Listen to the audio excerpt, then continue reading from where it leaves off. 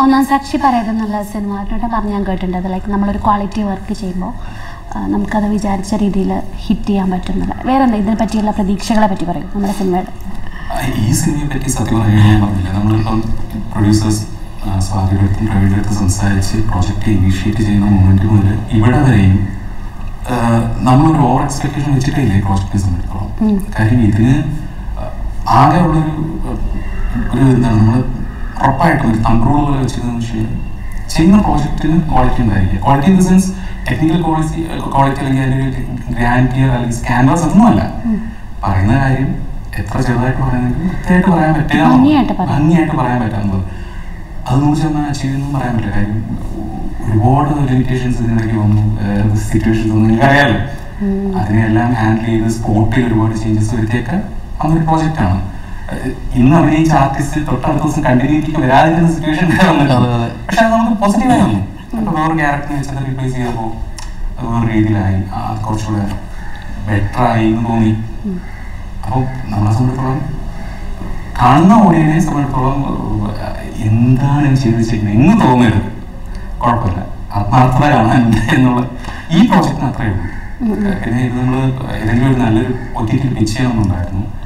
അപ്പോൾ കുറച്ച് ഫെസ്റ്റിവൽസിന് പോയി. ഫെസ്റ്റിവൽസിൽ പോലും നമുക്ക് നമ്മുടെ പെയിന്റിംഗ് ഉണ്ടായിരുന്നു. നമ്മൾ ആകെ ഒരു ആറ് ഫെസ്റ്റിവൽസിന് അയച്ചുള്ളൂ. ഒരു അതിലൊരു അഞ്ചെണ്ണത്തിലും സെലക്ട് ആയി അതിൽ രണ്ടെണ്ണത്തിൽ ഇതായി. അതൊരു ഹാപ്പിനെസ് ആണ്. അതായത് റിലീസ് ചെയ്യുന്നതിന് മുൻപേ ഏതാണ്? റിലീസ് ചെയ്യുന്നതിന് മുമ്പ് തന്നെ ഫെസ്റ്റിവൽസിൽ പോയി വരിക സിനിമയ്ക്ക്. അങ്ങനെ ഒരു യാത്ര ഉണ്ടായില്ലേ? എന്റെ ഒരു പേഴ്സണൽ ചോദിച്ചോട്ടെ ഇപ്പം ഇതിൽ നമ്മൾ പാട്ട് എടുത്ത സമയത്തെ ഈ പാട്ടിലെ നമ്മൾ കാണിക്ക ആ ചിത്രീകരണവും ആ പാട്ടുമൊക്കെ ഒരേ സിങ്കായിട്ടാണ് വന്നിട്ടുള്ളത് അല്ലെ വരികളുമൊക്കെ. ഇതിൽ ഏതാ ഏതാ ആദ്യം ഉണ്ടായേ? പാട്ടാണോ? പാട്ട് ഓൺ ദ ഓൺ ദ ഗോയാണ് ലൈക്ക് മൂന്ന് ദിവസം ഷൂട്ട് കഴിഞ്ഞതിന് ശേഷമാണ് പാട്ടിനെ പറ്റി ചിന്തിക്കുന്നത് പോലും. കാര്യം ചില ചില കാര്യങ്ങൾ നമുക്ക് മുൻപേ പടം തുടങ്ങുന്നതിന് മുമ്പ് തന്നെ ഇതൊരു ഒരു വൺ ഡേ സ്റ്റോറിയാണ് ആക്ച്വലി ബേസിക്കലി പക്ഷെ നമുക്ക് അതിന് മുമ്പ് ഒന്ന് എസ്റ്റാബ്ലിഷ് ചെയ്യാൻ കുറച്ച് കാര്യങ്ങളുണ്ട് എന്നുള്ളൊരു ഒരു ഐഡിയ ഉണ്ടായിരുന്നു. ആ ഷൂട്ടിനിടയിൽ തന്നെയാണ് നമുക്ക് ഇങ്ങനെ പാട്ട് വേണം. അപ്പോൾ ചിലപ്പോൾ ട്രാവൽ ചെയ്യുന്ന ലൈൻസ് എങ്ങനെ പാട്ടിന്റെ വരികൾ ഉണ്ടല്ലോ വരികളുണ്ടല്ലോ. അതും അതിൽ വരുന്ന സീൻസും നമ്മുടെ ഭയങ്കര ഭയങ്കര സിങ്കാണ് രണ്ട് ഘടകങ്ങളുണ്ട്. ഒന്ന് നമ്മുടെ സിനിമയുടെ സ്വഭാവമായിട്ട് ഭയങ്കരമായിട്ട് ചേർന്ന് നിൽക്കുന്നതാണ് അതെ, അതെ, അതെ. അതുകൊണ്ട് തന്നെ വിഷ്വലൈസേഷനിൽ ഇത് സപ്പോർട്ട് ചെയ്യും ആ വരികളും കറക്റ്റ് വരികളെക്കാൾ കൂടി എനിക്ക് തോന്നുന്നു എഡിറ്റർ രാജേഷ്. പുള്ളി അത് ഭയങ്കര രസമായിട്ട് അതിനെ സിങ്ക് ചെയ്ത് കൊണ്ടുവന്നു എന്നുള്ള കാര്യം അതിന് നമ്മൾ ഷൂട്ട് ചെയ്യുന്ന സമയത്തൊന്നും ആക്ച്വലി നമുക്ക് അതിന് സ്റ്റോറി ലൈൻ സെറ്റ് ചെയ്തിട്ടുണ്ടായിരുന്നില്ല. ഐഡിയ ഉണ്ടാവും മൈൻഡിൽ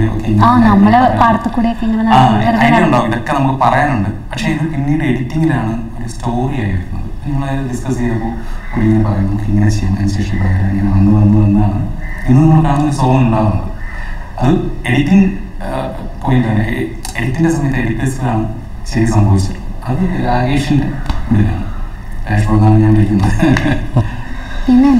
ഈ പാട്ട് ഇപ്പൊ പാട്ട് റിലീസായി. പാട്ട് ആൾക്കാരെ കണ്ടിട്ട്. നമുക്ക് എന്ത് സന്തോഷമല്ലേ മരണം വരെ നമ്മൾ മരിച്ചു പോയാലും നിലനിൽക്കാവുന്ന ഒരു സാധനം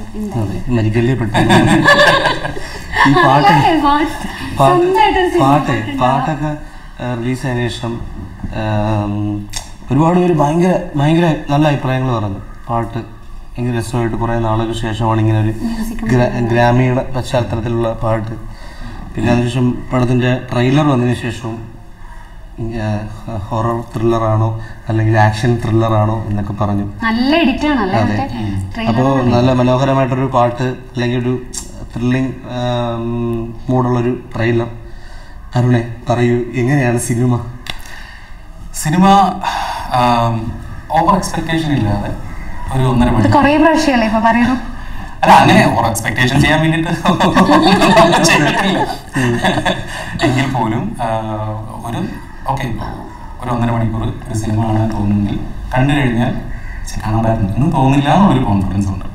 ആ മൈൻഡ് സെറ്റോടുകൂടി ഒരു എന്റർടൈൻമെന്റ് മൂവി പ്രതീക്ഷിച്ച് കാണരുത്.